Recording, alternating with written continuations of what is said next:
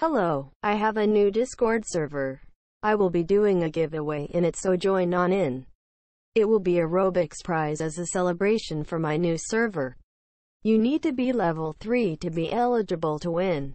This will go on for two days. Good luck. Love you all.